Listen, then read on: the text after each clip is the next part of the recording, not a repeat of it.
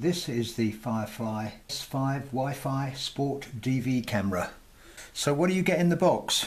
The camera, a lens cap, the battery, USB charging lead, the manual, and as it's designed primarily for the FPV model flying and quadcopter market, FPV lead so that you can use it with quadcopters and model aircraft for FPV flying.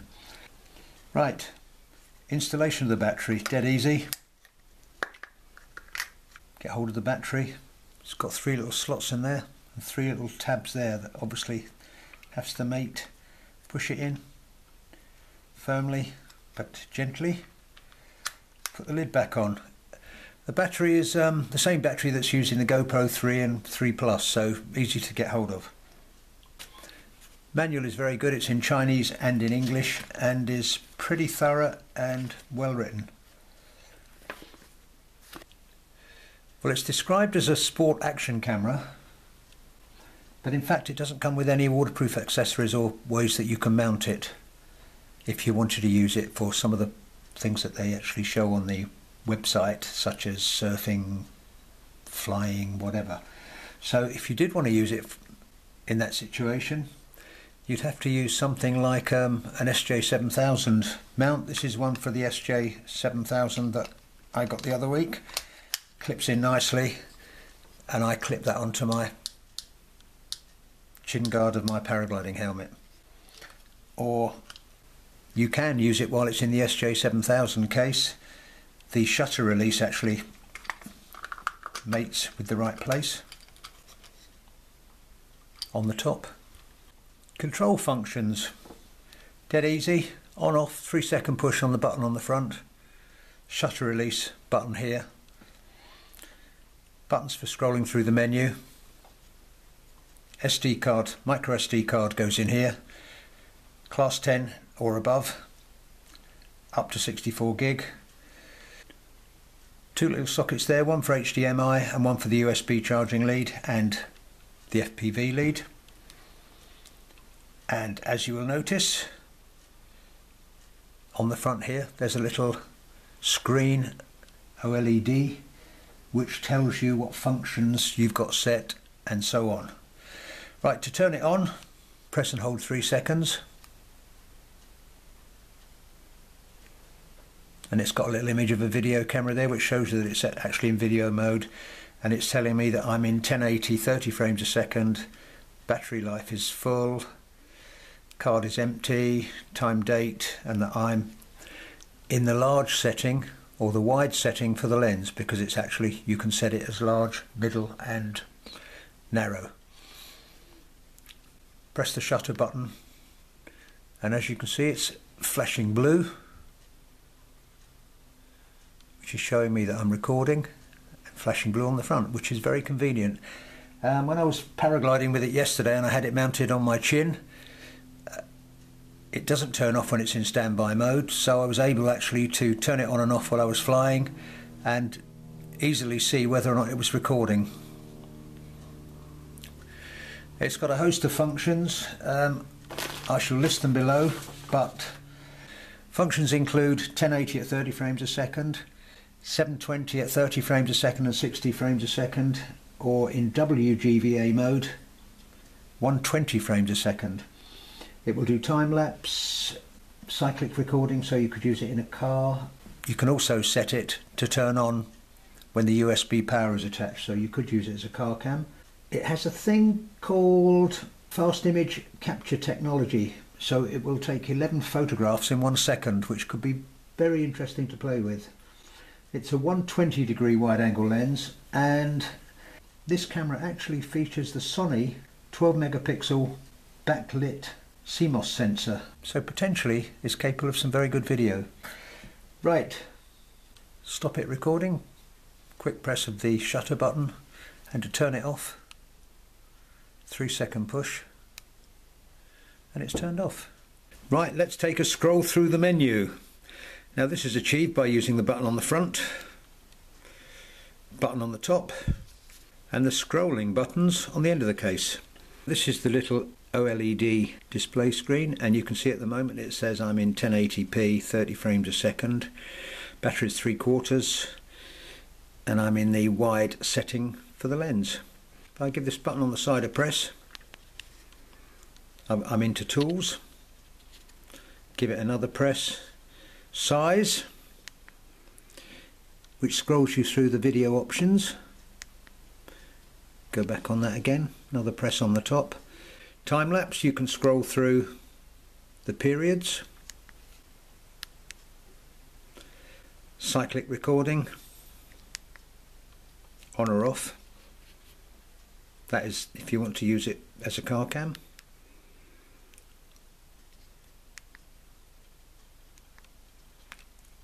Auto start when plugged in or not. Wide dynamic range on or off. This is apparently for use when conditions are quite dark or cloudy. Size, this is size of stills, 12 megapixel, 8 megapixel, 6 megapixel. Oh, I should say, actually, of course, obviously the way you actually do this, you scroll up and down, set it to what you want and press OK on the top again. This is for burst photography where you can have 11 frames in one second. Interval, that is periodic photographing. ISO is film speed, auto or 100 or 400. Sharpness, high, medium, low. Color balance, vivid or standard. Date stamp on or off. TV mode and Wi-Fi on or off. I think I mentioned that you can connect this to a phone or tablet using the Wi-Fi. Um, they do mention an app. I found FinalCam worked very well with it actually, and I'm sure you'd probably find others that are compatible. USB is whether or not it turns on or off when you connect the USB lead, so that if you were using as a car cam, it would turn on when you turn the ignition on. Angle, large, middle, small, that is the field of view. Format the card, and default would return it to factory settings. Software version and back to size which is video. As I say you can just scroll through the options. Back to that. Press the button on the front. We are. Press the button on the front and you switch from stills and that means I've got capacity for 4866 at 12 megapixels with 32 gig card that I'm using. Press it again. I'm in video mode and obviously to fire the shutter press that and now we're recording. Blue lights are flashing to show that it's recording. And that was it and there's the time on the front it's 2200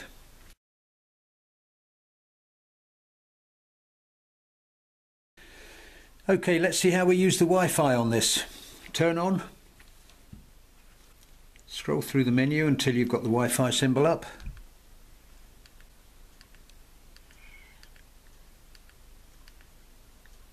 now. Turn Wi-Fi on. Hmm, you can't see what I'm doing here. Turn the Wi-Fi on. On. Go into settings. Make sure your Wi-Fi is on, which it is. Press Wi-Fi. Firefly has come up. The default password is 12345678. 12345678. Finished. Go. Connect. Connecting. Connected. Home. As I mentioned, FinalCam works fine with this. It doesn't want to be that way up, it wants to be this way up, which doesn't help. Firefly. Oh, now it does want to be this way up. Okay, um, and as you can see, the tablet is now looking at whatever my camera is looking at. Camera is looking at the video camera. Here we are. And what does the app do? This particular app, I can go, I can change settings. Sorry it keeps going sideways. Bit of an inconvenience. Back. Loading. Mm, okay, go back into that again. Change settings. I can download videos like so.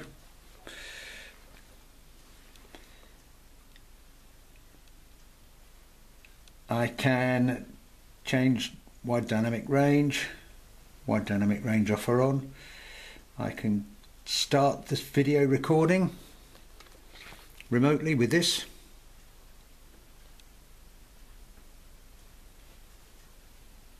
Blue light flashing, there you go, started. And so on, but um, different apps will do different things. But as I say, this one I'm looking at here is FinalCam, which works with this.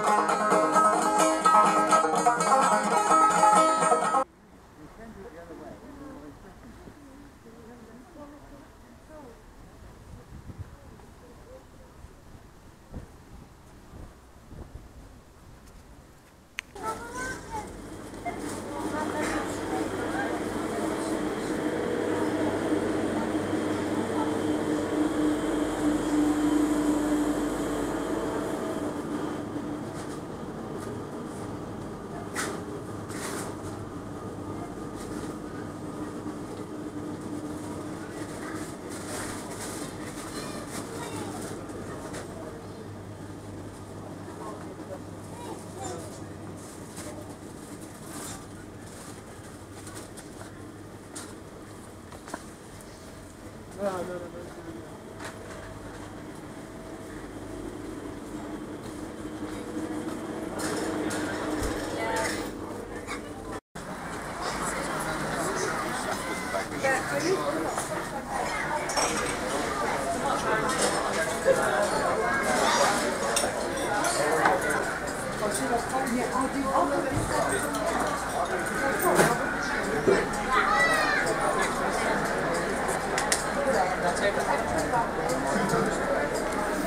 Mitchell.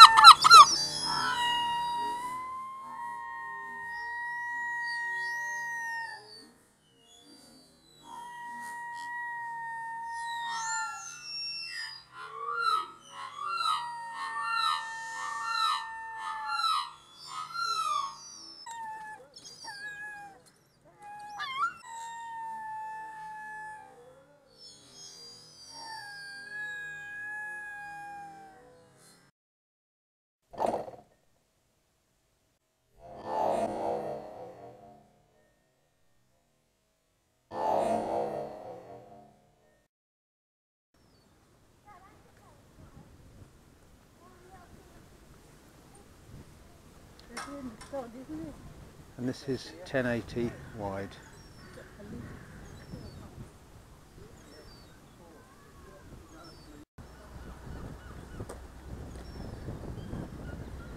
And this is 1080 medium.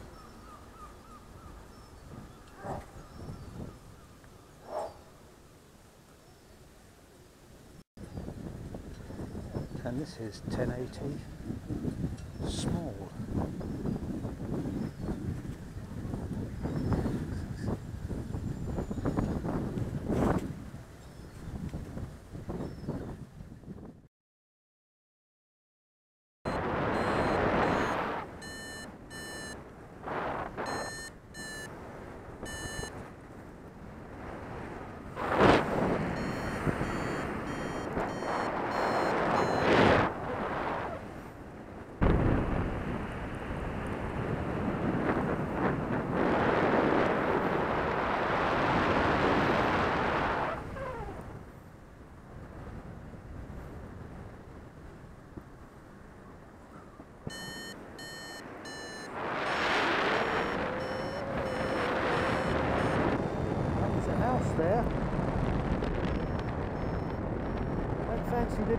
next to it or the one behind it? Do you?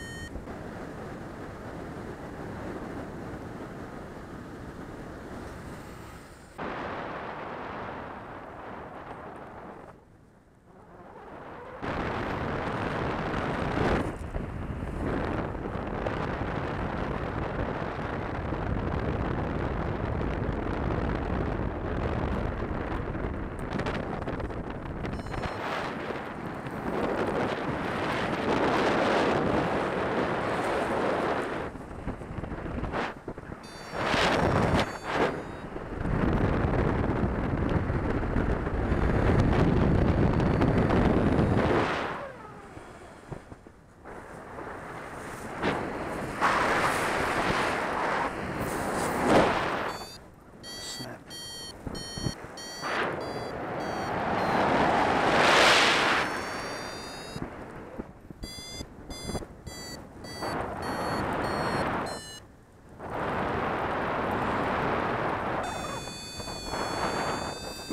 Whoa. Keep it flying. Keep it flying. Keep it flying. Keep it flying.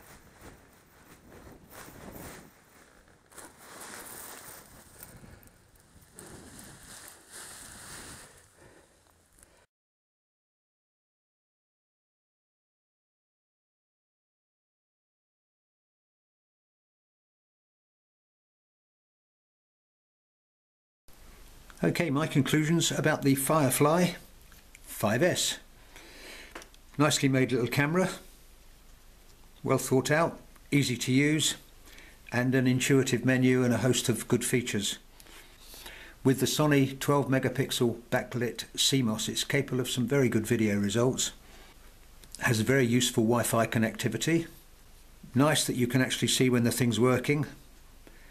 Quite a few of these kind of cameras don't actually let you see when they're running. But this one has this very easy to see blue flashing light to tell you that you are actually recording. It is primarily designed for quadcopter use and it's a GoPro 3 clone and will fit the GoPro accessories and the gimbals on quads designed for GoPros. Shame it doesn't come with any accessories but it's so small and easy to mount you could velcro it onto a paragliding helmet or motorcycle helmet so I don't really see that that's a huge problem and as I say is compatible with GoPro 3 and some of the SJ cam accessories. So all in all a good little camera and at a very good price. So there it is the Firefly 5S